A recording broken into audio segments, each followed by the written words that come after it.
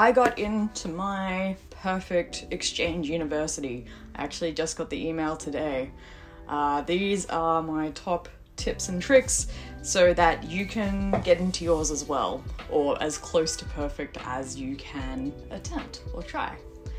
So, you've decided you want to go on an exchange. Maybe, I don't know why you're doing it. Maybe it suits your course really well. Maybe you've got family back in, you know, a different country. Maybe you just want to go for the cultural experience or just a party, whatever. Whatever your perfect is, that's your perfect. Maybe you haven't been overseas before. Maybe, yeah, this is your first time traveling even out of state these are some great tips that are going to help you consider maybe how much timing you're going to need and some realistic expectations to have. First tip right out the bat start this process early. Start it way earlier than what you think you're going to need. For me, this process took a whole year. Now, that was from my initial decision of that I wanted to go overseas to now. This week was when I received my confirmation of exchange with Kansai Garai. I don't know how to say that. I'm very sorry. I will learn. Um, I got that this week. It's been a year's process and it's still ongoing. I'm still waiting for scholarships, things to get back. I'm still waiting for all sorts it is a very stressful, very elongated process. There will be times where you feel like that nothing is happening and you'll get anxious about it. Maybe you're just like, oh shit, you know, have I failed? Have I missed something? No. You're probably fine. It is just a very, very, very stressful experience. Uh, give yourself all the time you need mentally as well. If you maybe have anxiety or anything, uh, it, it will be stressful. You can do it. I believe in you. It is absolutely worth it to do. Part of starting early isn't just the application process with meeting up with your university or whatnot, it is also things like getting your passport. I would actually recommend this as the first thing you should be considering doing in the gathering of details that you're going to need. So get that sorted. It can take a while depending on where you are. I come from an Australian perspective. When I got my passport, it was really quick. COVID's made things a lot more difficult, and I hear that uh, traveling with COVID after COVID has been very different from what we might be used to. I've traveled overseas before, um, I've traveled all around Australia, and yeah, things have changed. So I don't have any. I have no, no additional tips about that. I'm flying blind. Additional things you can start doing. So in this planning process, let's say that you, you've just come into university and you've already decided you want to do an exchange, like you're going from high school to university and exchange in second or third year. That's a great way to like have that planned out. However, because you might be just starting this course, use that time in the domestic setting that you have as an available experience within the university system to see whether you are really liking that course, whether or not you want to change majors, whether or not you want to change subjects, or what subjects might be better taken overseas. Do all that at home. Do it in your domestic university it will save you a lot of time and heartache eh, later. The other part of this larger planning process is figuring out where your stuff is going to go. In this year long process, you know, I've had to figure out who's going to take care of my birds. I have seven birds. Uh, I've got to make sure that they're, you know, I can't put them in long term care. It's very expensive to do that because you have to test all of them and you have to test them for chlamydia. I did not know birds could get chlamydia. If you don't want to maybe expose your pets or anything to like having that situation, you know, maybe finding friends or family to put um, to care for them for that period of time. Additionally, you got to figure out where your stuff is going to go. If you are by yourself, you may have to consider getting a storage container because you probably don't want to be paying rent back in your home country and in the exchange one If you are lucky enough to maybe have a dormitory or a share house situation, um, they're pretty easy to move in and out of depending on where you are. Honestly, just pay for a storage locker, it's going to be way better. And if you have any valuables like, you know, um, heirloom jewelry or old photographs or something, there are services for safe and secure um, storage solutions for that. They are pretty small um, and they do have like insurances and stuff.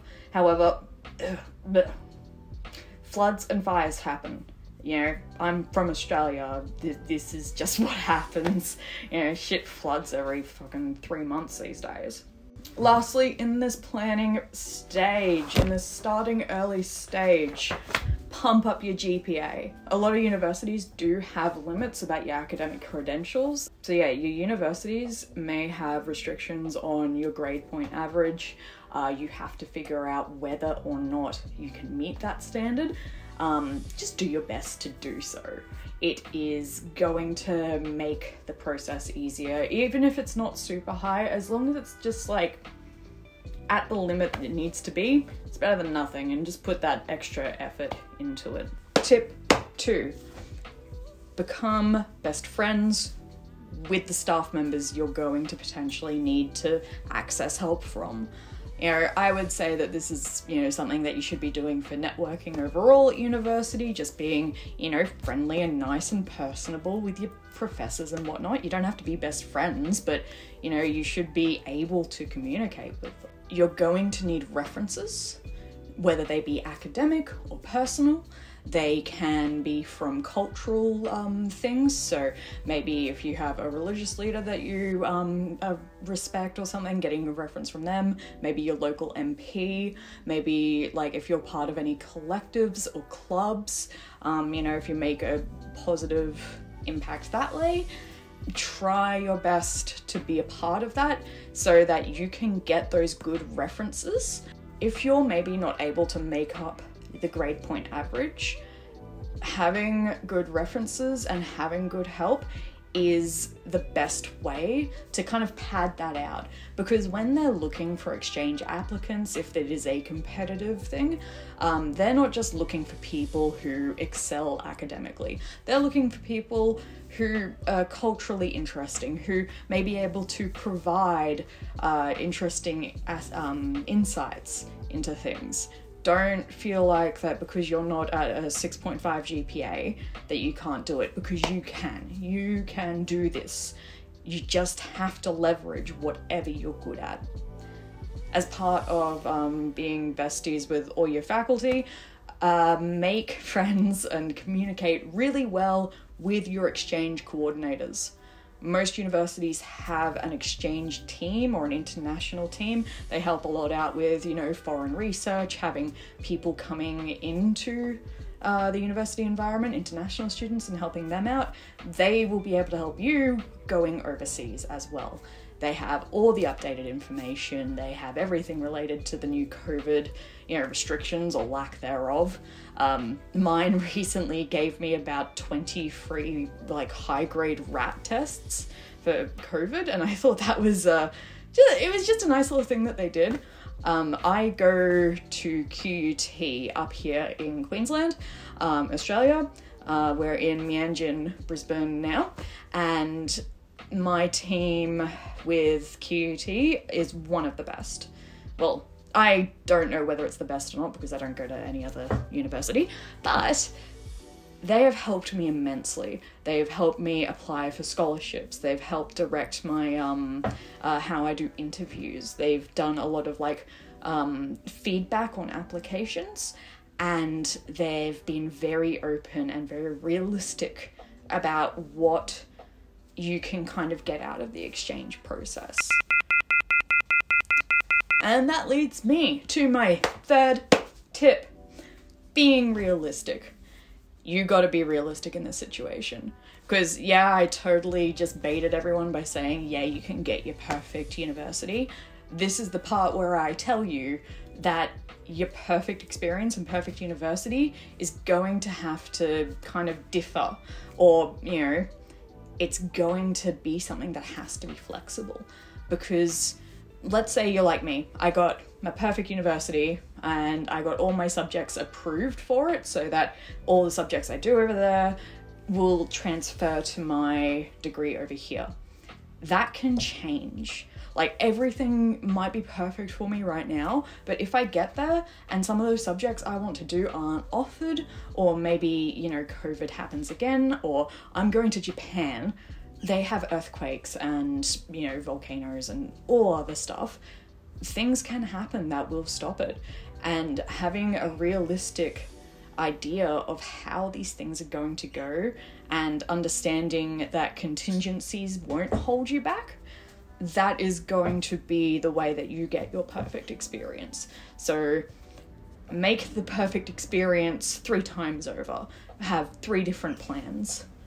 Within that, you should also be considering the realistic nature of the fact that exchange rates suck. Um, you know, the economy is going to shit. You might not be able to save enough money to go over there, or maybe scholarships won't cover the whole thing maybe you won't be able to go to certain countries that would aid your um, career and degree because you'll probably get discriminated against or killed because you're a racial or gender or sexual minority. Maybe you'll be religiously persecuted. Maybe you'll have hate crimes, you know, legalized against you. There are so many different small things that can change that will be out of your control. So, in order to have your perfect experience.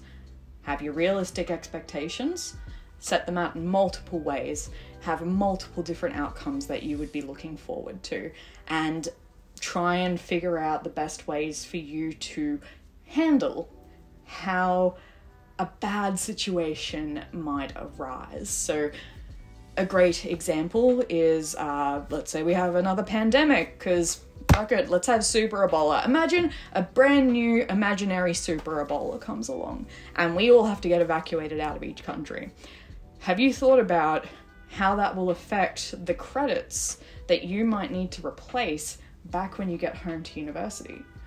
What are you going to do if you arrive back after the census date and you lose the ability to both receive credits from overseas and do them domestically as well. Are you okay with that extra six month wait and being tacked onto your study plan? You know, uh, is it, are these things going to negatively affect you? Because if it is severely going to negatively affect you, if you're not able to be flexible, if you've got like a hardcore plan, I know some medical students have this, like if they've got like a way to be doing things exactly, maybe rethink doing an exchange that's long or in a country that might not have the best reputation of being safe. I don't know. I don't know how many people are going to Ukraine these days to study engineering. The other thing to be realistic in the situation uh, some universities do not offer uh, dormitories or living arrangements like that. You're gonna have to figure it out yourself. I chose Japan because they do offer dormitories. I don't want to worry about renting. Renting's a nightmare domestically. Why would I want to do it in a foreign country? I also just really didn't want to go to Europe. I mean, Europe's nice, but nah. Same shit, colder. So, yes, top tips I hope this helped. Um, I will be making videos about more specific types of aspects of this, like choosing units that will transfer over a lot easier, how I got mine approved so quickly, um, the process of going through certain scholarships. I'd love to share that thing, that experience, so as many people can hear about it and know the best steps to get that.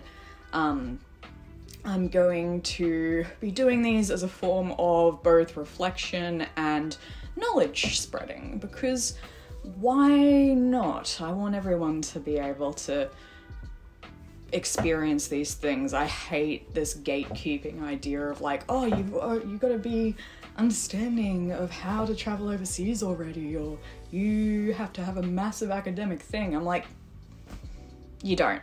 You you can fail a subject or two and still do an exchange. You can manage it. You just have to plan ahead. But yeah. How do I end videos?